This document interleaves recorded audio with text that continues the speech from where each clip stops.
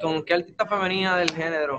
Wow, hay muchísimas, ¿verdad? Pienso que las féminas ahora mismo tienen muchísimo poder en género, siempre lo han tenido, pero ahora están bien, bien, bien fuertes y, me, encanta, ¿no? Hay, hay, mucho baile también, eh, hay mucha versatilidad en las féminas y nada, yo soy de, buenas vibras y de conectar en el estudio como que no, no tengo como que una así en particular, pero si, si estamos en el estudio y guiamos un poquito, como que pienso que podemos sacar algo súper cool y, me encantaría pues trabajar con, alguna de ustedes, la que mira, las, chicas me llaman, entienden, el DM, estamos activos para, trabajar.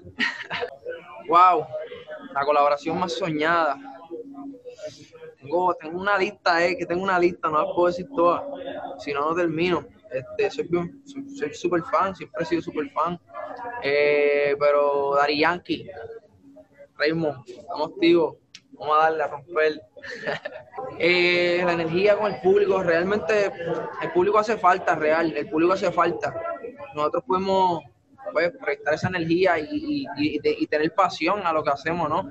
Pero yo digo que, que extraño muchísimo el público y esos gritos y la gente coreando nuestros temas a nosotros nos llena de mucha más energía. ustedes hacen falta y extraño, extraño los tours y, los shows. Mira, dímelo, es Raúl Alejandro. Estamos aquí en los Latin Billboards. Vamos a romper. Gracias por ese apoyo y los quiero mucho. Raúl, hey.